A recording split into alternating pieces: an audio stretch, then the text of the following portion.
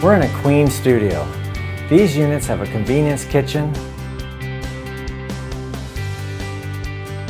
a seating area, and a balcony with views of the pool or the village.